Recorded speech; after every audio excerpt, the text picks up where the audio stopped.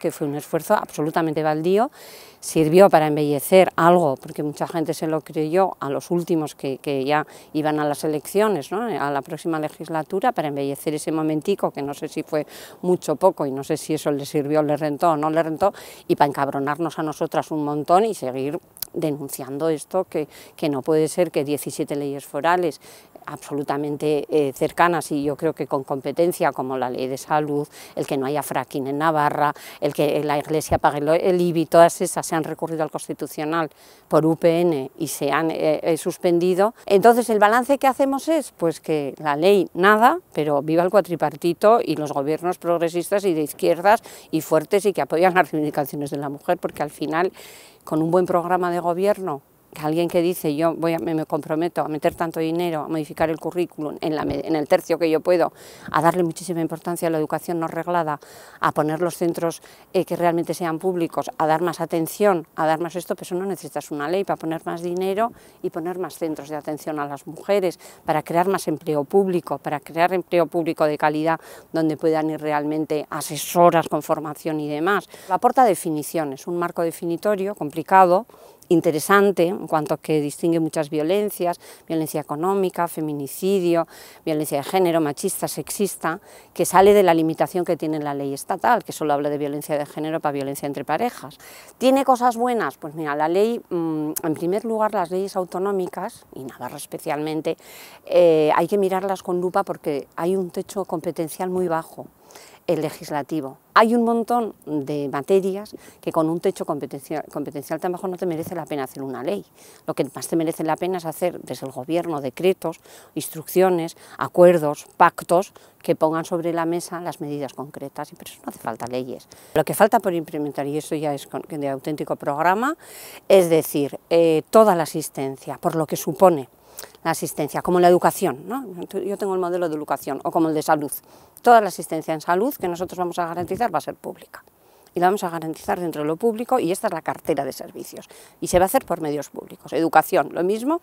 Asistencia a las mujeres, todo va a ser una cartera eh, pública. Esto no puede ser asistencia privada, esto tiene que ser asistencia pública porque primero es una forma de garantizar que esto ya es permanente y no que venga otro gobernillo y te lo cambie otra vez y venga otro y te lo quite, ya lo instauras en la estructura pública.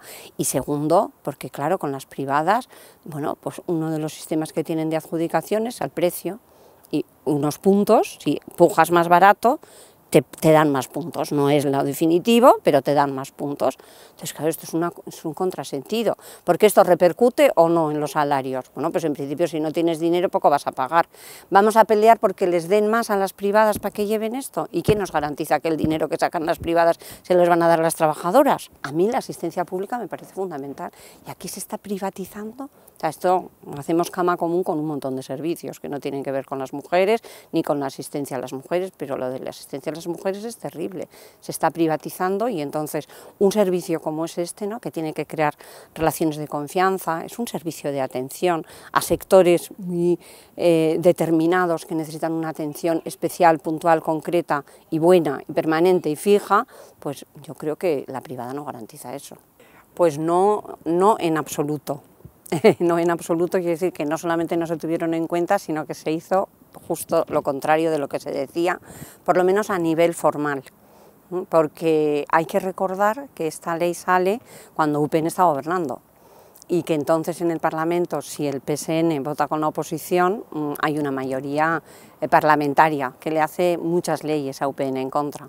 En concreto le hace 17 que no le gustan y que las impugna y las suspende el Constitucional. Bueno, pues una nueva ley no es el momento, no es el momento porque la ley anterior, que estaba relativamente bien y que fue una ley muy buena, hecha bajo los aspizos y sobre todo bajo el liderazgo en aquellos tiempos de Euskal Herrita Rock. Entonces se consiguió una buena ley después de tenerla que modificar y enmendar como dos veces porque no terminaban de ajustar y la denuncia permanente es que la ley no se cumple. Está muy criticado el pacto de Estado, claro, si no se consigue todos los apoyos, hay quien dice que ni siquiera es pacto de Estado, que es como un pactillo. No, eh, no creemos mucho en esos pactos de Estado Estado, porque claro, el pacto de Estado ahora se nos cruza, esto tiene mucho que ver otra vez con los temas competenciales, ¿no? pero se cruza mucho con hacen un pacto de Estado, no es muy bueno, ¿no? tiene muchas eh, deficiencias, se mejora algo la ley, eh, violencia de género parece que ya va a ser eh, otras violencias machistas que no sea la de pareja o expareja, un hombre maltratador no va a poder tener nunca la custodia de las criaturas, bueno, hay varias cosas que mejoran en el pacto. Luego esto se va reconvirtiendo en leyes, pero hay una palabra clave del pacto. El pacto si se hace es para decir mil millones, necesitamos dinero, dinero, dinero, dinero. Y entonces ese dinero va a ir a presupuestos, ¿no? Fíjate qué vericueto. De un pacto que va a ir contra la violencia de género entra una cantidad de dinero que es súper importante, pero va a presupuestos. Y ese dinero que lo tiene Madrid lo va repartiendo. Entonces, primero va a presupuestos, con lo cual ya te empiezan a chantajear. Si no se aprueba, y está todo el reformismo de Madrid, diciendo si no aprueba la, culpa la tenéis vosotras, porque que se aprueben los presupuestos, porque si al final el pacto de Estado es una partida presupuestaria, si es eso, pues vamos a decirlo claro y vamos a ver cómo se ejecuta y cómo se practica. Si es más y tiene fuerza legislativa, lo que tiene, pues muy interesante, tiene cosas, pero no lo vincules al presupuesto, pues tiene cosas de definición de que la ley realmente está mal. Ahora se está viendo en los juicios, ¿no? O sea, ¿cuántas veces Nagora Lafague no es un juicio de violencia de género? ¿Alguien piensa que en estos momentos hay un mínimo común denominador con Ciudadanos y PP para hacer un pacto de Estado sobre algo? No, sobre algo tan eminentemente político como es la violencia contra las mujeres, que hay tantas cosas yo pienso que no, yo políticamente pienso que no. Que todas las feministas del mundo digan esto me parecería exagerado porque si el PSN quiere y hay mujeres feministas del PSE pues, o, del, PSOE, pues dirán que sí. Pero esto es una cuestión de estrategia política muy importante que la tenemos que poner sobre la mesa. El precedente pacto de Estado que tenemos mm, anterior, parecido, fue el pacto antiterrorista. Yo, mm, o sea, no es que me pareciese mal, no es que, es que me parece como de salir de la Unión Europea el pacto antiterrorista, porque fue el que favoreció y el que propició que las torturas se siguiesen dando. Y eso es un precio que nunca se puede pagar. Yo clarísimamente que no pero en todo caso, de hacer pactos de Estado, de comunidad, de nacionalidad, de pueblillo, de lo que quieras, me iría a las localidades a decir, bueno, vamos a acercarnos, ¿no? A ver qué necesitamos ahí y ahí vamos a ver un poco cómo lo gestionamos. En estos momentos yo pienso que con UPN, PP aquí no existe, no podemos llegar a un pacto de Estado sobre ninguna, ninguna de las eh, de las materias que nos llevan mínimamente en feminismo. O sea, si no hay un pacto de Estado para cumplir el tema de los derechos sexuales y reproductivos, y se está haciendo y se está empezando a cumplir, ¿para qué vamos a hacer para otras cosas? Si para eso no hay, que está dicho en la ley, que, que ya es legal, como diría Rejoy, esto está en la ley, esto hay que cumplir, esto ya es legal, ¿para qué vamos a hacer un pacto de Estado eh, con unas definiciones que tampoco tenemos los mismos conceptos seguramente, desde luego las medidas, ¿no? medidas muy policiales, ¿qué llevan los pactos de Estado? La visión del UPN, de UPN, del PP y de Ciudadanos es una visión muy, muy policial, muy de penal de las agresiones a las mujeres. Se carga todo el discurso feminista que llevamos años diciendo qué pasa con las violencias, ¿no? cómo esas violencias pueden ser un camino que empiezan en un mundo muy silencioso y después terminan en el asesinato. ¿no?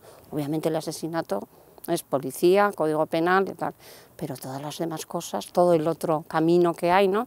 Entonces, como tenemos tantas diferencias, yo es que no visualizo un pacto no, en conceptos y el millón de, euros o los mil millones de euros que quieren poner, pues veremos a ver a dónde van, ¿eh? lo seguiremos y realmente se reparten.